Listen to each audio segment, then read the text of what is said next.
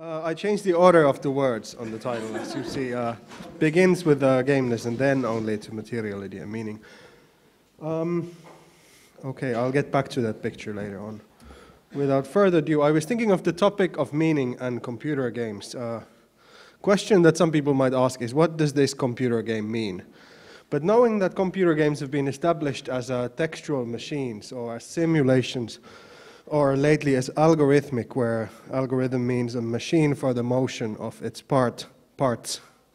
And some people have talked about computer games as procedural rhetorics.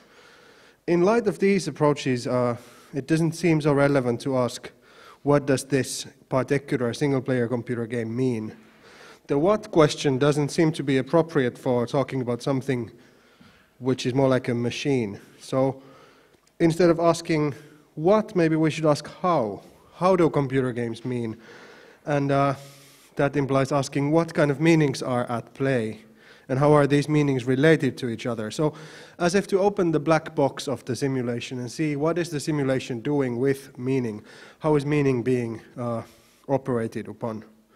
So asking these questions led me to uh, investigate the conditions of possibility for meaning and interpretation in computer games.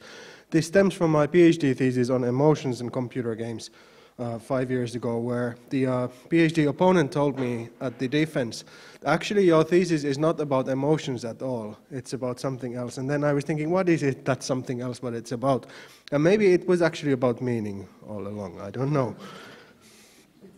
So, for this project of understanding the conditions of possibility for meaning and interpretation, um, I think we should not only look at the gameness of these things we call computer games, but also in the technological material or if even existential form of these artifacts.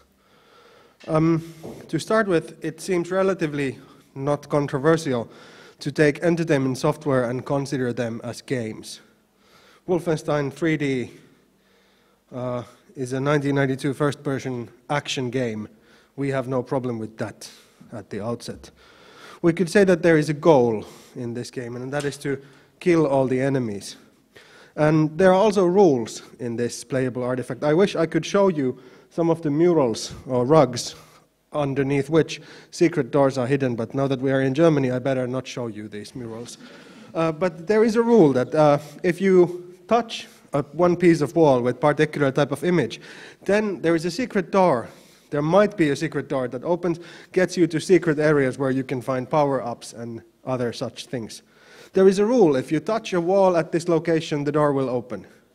That seems uh, still rather not controversial. Uh, we can look at these, uh, what some people might call borderline cases, which, whose gameness has been contested from the ludological perspective. We might say that also these things have rules. Buying things makes Sims happy. But then how about the goal? Well, well, then we make a concession and we say this artifact lets the player set their own goals. And then we are fine. The game definition was not bothered. It didn't wake up and get angry. It still continues to operate. Um, already, though, in 1983, David Sudnow said in his book Pilgrim in the Microworld that maybe Atari's products were called computer games just to avoid problems with the Food and Drug Administration. So there is this sort of contesting of the notion of gameness already begins over there. Uh, since then, Graham Kirkpatrick suggested that computer games are more than games. We cannot exhaustively describe them via an analogy to traditional games.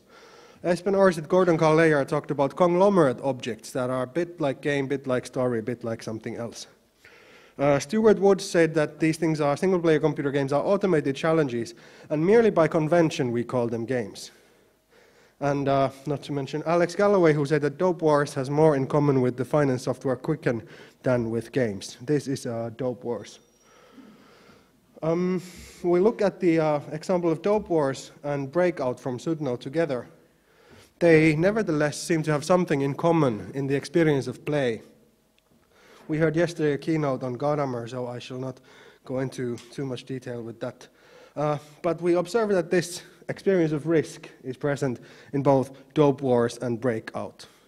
The risk that it might not work. The risk that we have a certain freedom but it is simultaneously all the time endangered. Um, so to arrive at something already, we might say that on one hand, computer games might not be games.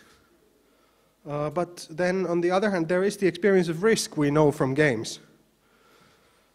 So there is still some affinity between games and these things called computer games. There is though a significant difference. Uh, here is the red piece of plastic from the game Monopoly, which I believe I mentioned yesterday, a hotel. It is also involved in a framework of risk in Monopoly. But that piece of plastic alone cannot endanger my freedom. It has to be placed in a framework of rules, uh, certain type of attitude on the player's behalf, and so on. Only within that framework it can be involved in endangering my freedom. But in computer games, the endangerment of my freedom is a material affordance in the artifact itself.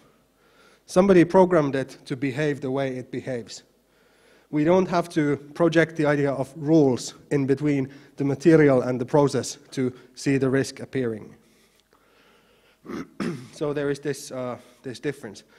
This brings me to the goal of this paper, to try to reconcile these accounts a ludological account of gameness and then an account of the technological materiality of the game in a sort of phenomenologically inspired description of what it is like to play a single player computer game. Um, to get on with least possible presupposition, let us assume, simply based on empirical observation, that computer games are technological artifacts. As such, they are multi-stable, meaning that they contain no absolute blueprint for what they could become when we are using them designer has no authority on what this uh, thing will be used for. However, as uh, Rosenberger and Verbeek have noted, that the materiality constrains its uses nevertheless. Any technology cannot simply mean anything. There are some constraints hard-coded in the technology itself. In the context of computer games, I take this to mean that some single-player games work better if we use them with some idea of gameness in mind. If I'm playing FIFA, simulated soccer match. It helps to think of the activity as related to a game of football. What are the rules of football and so on. But some, in case of some computer games, some single player computer games, this projection of gameness is not helpful. We find that this relationship to this other type of game as a technological artifact is to relate it to a, sorry to relate to it as a game is not a stable relationship. Uh, example of one such artifact is Cities Skylines. Like uh, The Sims, it's also what ludologists would call a borderline case, meaning that it has no winning condition, any missions and goals are strictly optional. That type of relation to it as a game, that type of relation as playing, is not the stable variation. Huizinga mentioned that play is always tense. Uh, there is the uh, uh waiting for a closure type of attitude. There is no such closure in this game. Uh, there is no unnecessary difficulty. Many of the notions of games do not simply apply on this artifact.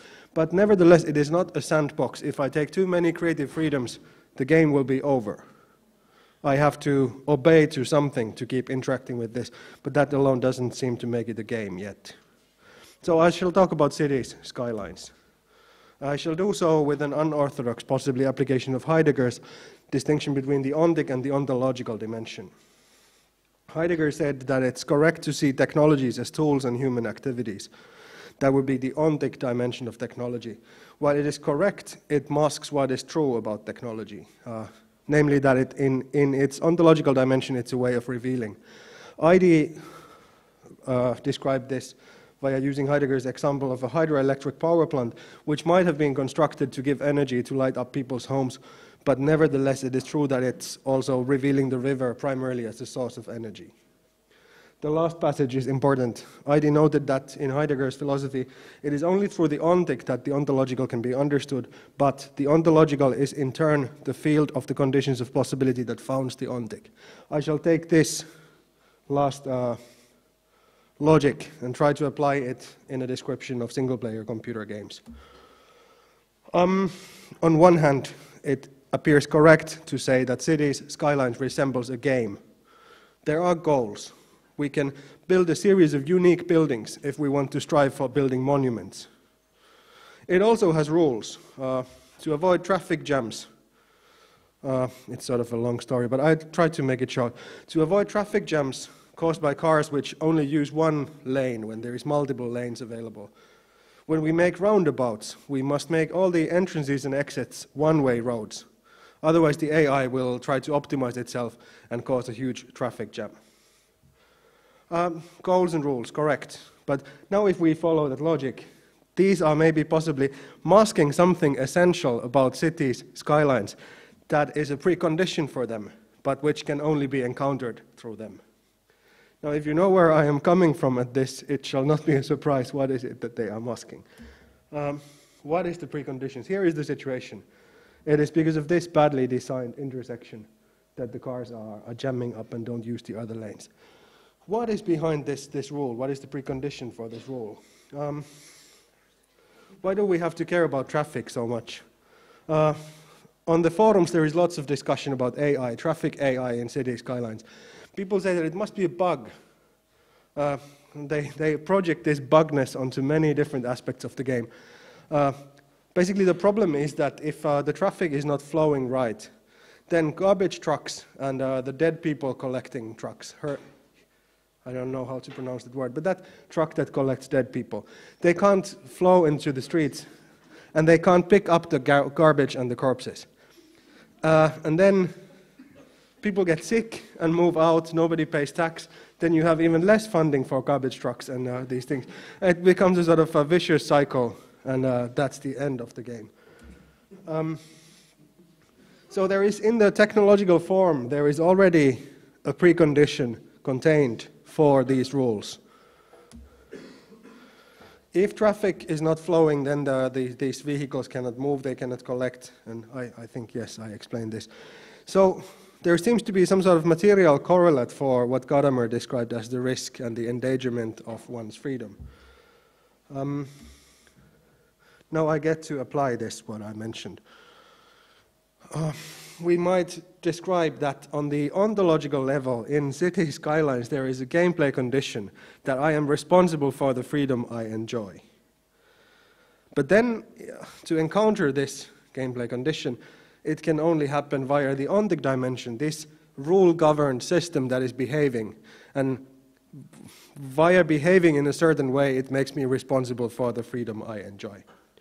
We might say that if there is this class of things that we might call playable artifacts, what would they have in common is that they have the same ontological dimension. They are ontologically speaking similar. They always make their users responsible for the freedom they enjoy. But how exactly they do it, that's the question for the ontic dimension of analysis. What kind of rules they make us obey in order to make us responsible for the freedom we, we enjoy and so on. Um, go back to the uh, statement from Ihde that it's only through the ontic that the ontological can be understood. The only way how we can have the experience of being responsible for our freedom is via interacting with the rule-governed system of the game. But if there was no gameplay condition, if there were just rules, rule-governed system, then, I put it in these uh, inverted commas, commas, that then rules will have no meaning. I'm not sure if uh, I could take these uh, these things off. But uh, Proteus has kind of rules. If you run too close to the frog or the rabbit, it will run away from you. Uh, evening will come after day. Night will come after evening. It also behaves according to certain rules, but uh, it provides no answers to the questions we might ask from it. The rules in this piece of software are similar to the rules in Microsoft Word. When I press Ctrl S, the document is saved. Um, but then, in some games, some playable artifacts, we have a gameplay condition that can lend significance to the rules of the game. If you ask what is the meaning of level 7 flaming birthday cake, here is the answer. It comes from this chain of events. Uh, I'm not saying causally linked, but somehow linked uh, chain of, chains of events that give meaning to it. That is fundamentally about this cake being invo involved in this framework of freedom and responsibility. Um, interestingly enough, Cities Skylines players have a popular subreddit forum where they share stories about their cities. This reminded me of the travel logs that visitors to the islands of Proteus have written and published online.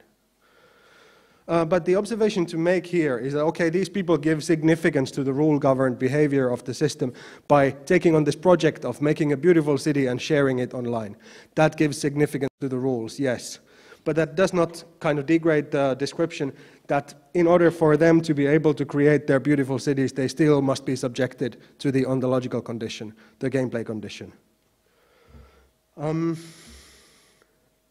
so it is thanks to thanks to the responsibility we have and the freedom we have in Tetris, that we all can see intersubjective significance in what's going on here. Uh, in light of the rule-governed system, there is no special significance of clearing a line of one color only. But knowing how it feels like, we can relate to this. So it seems to be also a baseline for some sort of intersubject understanding of computer games. Those of you who have been to uh, the Hong Kong island of sleeping dogs know that this is highly unlikely to happen. We may appreciate it just as a, in terms of its aesthetic, a sports car standing on its back, but if you have been to the game, you know how this thing might happen one day. Uh, also, there is a video. Nothing special in this video, actually.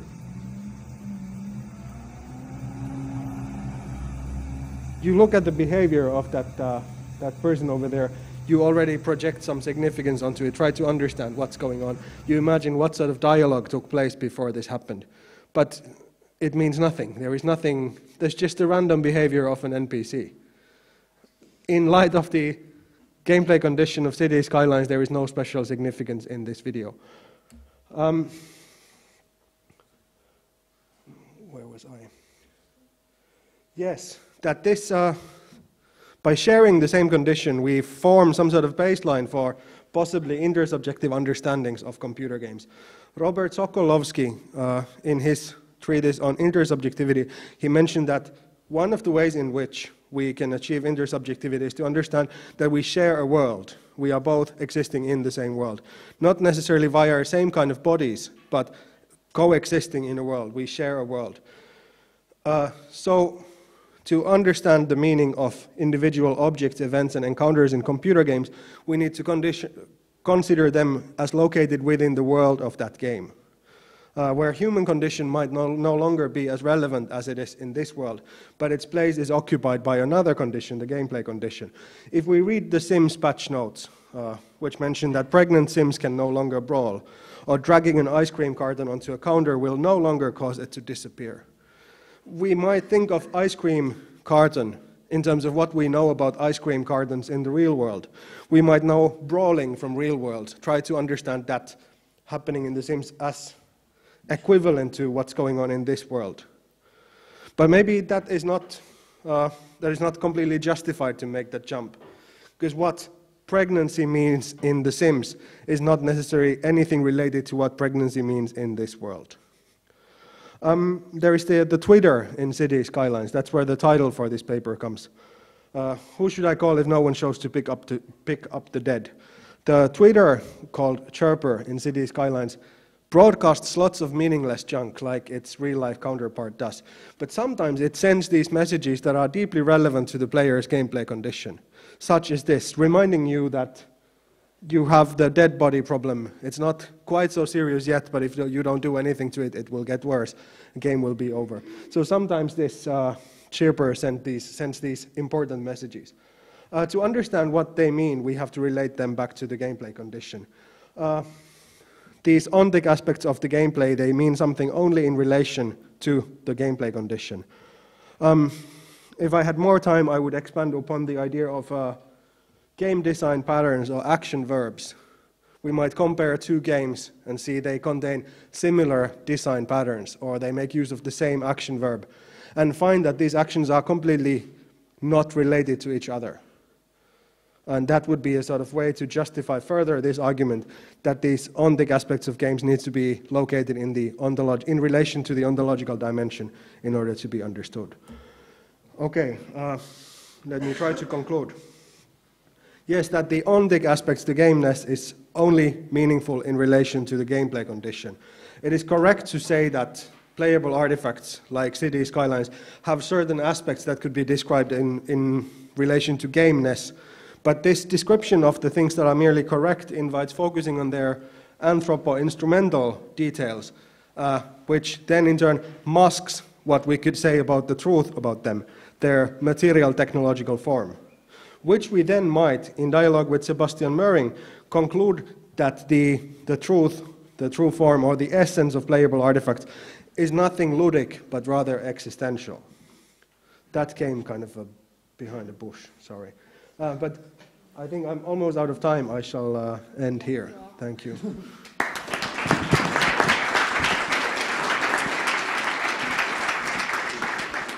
Yeah, thanks a lot for the talk. Are there any questions, annotations, remarks? Yeah. Uh, first of all, thanks for today's talk as well as yesterday's. It was um, enlightening stuff about how you define single-player computer games. I just one question. You do focus a lot on the concept of risk and failure being a crucial part of single-player computer games as playable artifacts. That there are some games, such as, for example, uh, Dear Esther, games like that, or even adventure games, where there is no failure state as such. Um, do you consider those also as playable artifacts, or maybe the point at which the game stagnates because you're not sure how to progress further? Would that be a failure state as well? That's an interesting question, thank you. Uh, I think in the spirit of the kind of description I'm attempting at, I would not be comfortable, even though I falsely give that impression that I say some things are something, that is a playable artifact, that is not a playable artifact.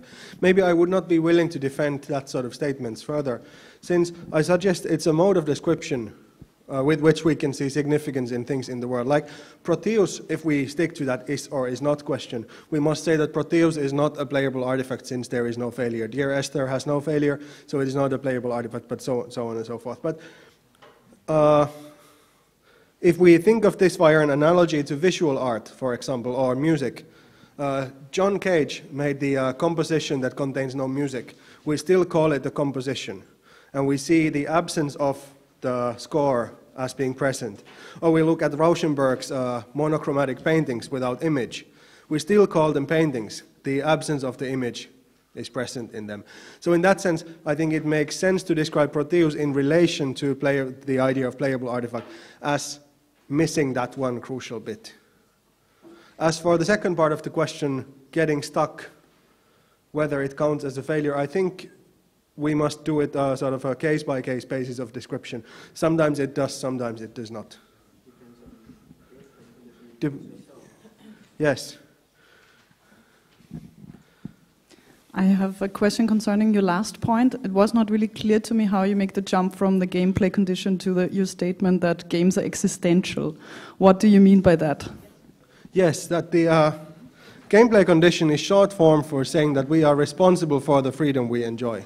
The game gives us freedom, like extends our facticity as human beings to lets us do things. But simultaneously, it makes us responsible for this freedom. It resists us in exercising this freedom. And what better word could I use for this rather than existential? If I talk about resistance, freedom, and responsibility, I think I tick so many boxes that I'm allowed to call it existential. Of course you are, but the question is what is not? What is not existential? Mm, good question.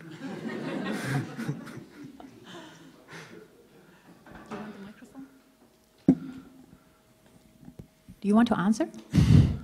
I don't think I can answer that question. I will uh, think about it. Thanks. Okay. Okay, see another question? Thanks. Um, I I was just thinking about a question which actually relates to that, that point, um, which is that, uh, and, and this point about um, not games like Dear Esther and so on.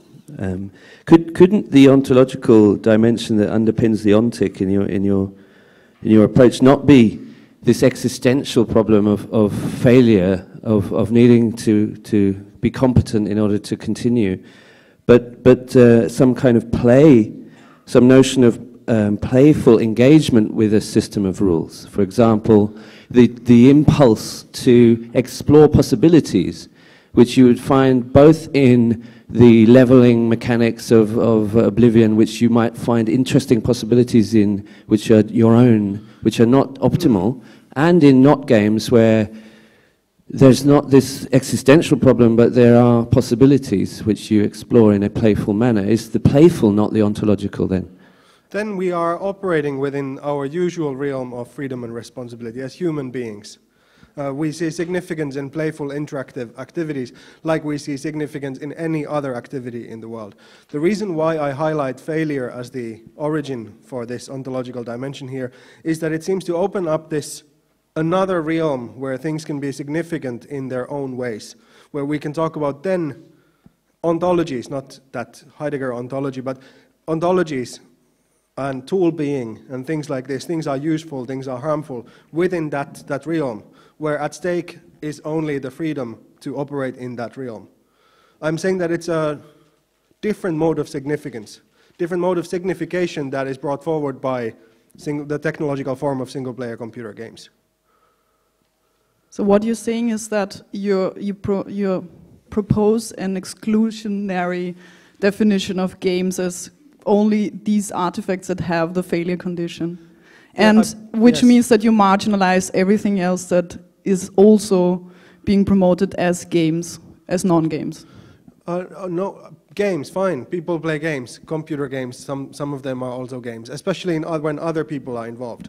But when we look at the kind of engagement between one individual and a piece of computer software that resembles a single-player computer game, I think that bringing in the notion of game does more harm than it does good in the sense that it imposes a mode of description that does not necessarily resonate with the aspects of this. So I am sort of uh, demarcating single-player computer games as a distinct category of all computer games and games. And then suggesting that maybe we shouldn't call them games. i have called them playable artifacts to refer to this kind of uh, endangered commitment we have with them, that we are responsible for the freedom we enjoy in them. But I'm not even sure if playable is the right word for this. Yes. I'm not sure if I understood it correctly, but um, this the gameplay condition, the, the, the, possibility of risk and failure, that is what makes a game a game to the extent that it is a game. That that would be your your views, sort of. That makes it the ontological uh, dimension. Is, is, this correct? Can you repeat the uh, second part of your? No, you, you, you, are talking about playable artifacts. Yes. And, and they are, are, playable artifacts because they have a gameplay condition. Yes. And that gameplay condition is uh, the risk, uh, the responsibility for failure, and so on. Um, yes, I'm trying to demarcate them off from a larger set of technological artifacts, including washing machines, uh, loudspeakers, microphones, yes, but, but all kinds of. Uh, yes, but because that that will that would be my problem. I mean, we would have that with washing machines and and, and uh, spreadsheets and so on. The responsibility for risk and failure.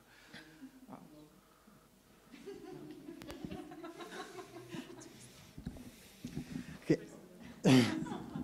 you go first. Yeah, no, go, no, go ahead. Alter vor Schönheit. okay. Um, Actually, you're right with the last point, not only because Sebastian made it, but um, because via Heidegger, you are deeply rooted into the Schiller tradition. And that was already Schiller's idea. Heidegger was giving seminars on Schiller by saying that the essence of being is revealed, of human being is revealed in play. And that's the perfect idea. So that's the old aesthetic idea. Okay. Um, what was the other question? Um, the gameplay condition. The thing is, the gameplay condition at the essence or at the basis means actually that you, in order to be able to do what you do, and order, in order to only continue that, you are responsible for doing what you do just to keep it going. That's playing Tetris. That is why it has no goal. Yes, we say that in games we win and, and, and lose. No. In washing machine, you switch on and it works. Done. Tetris stops working if you don't keep doing what you do, and you just do it in order to keep doing what you do. Then imagine you have a broken washing machine that doesn't do the spin part correctly. You have to push it against the wall to keep it spinning. Then it if you did it just for the they also have a game. They have a gameplay condition. In the Sims. Sims is a same. Yes, Sims is a playable artifact. Didn't I stress it enough? There is a game over screen in the Sims that is often overlooked when we call it the borderline case. But if all the Sims in the family die, then it's game over, like it is game over in any hardcore game.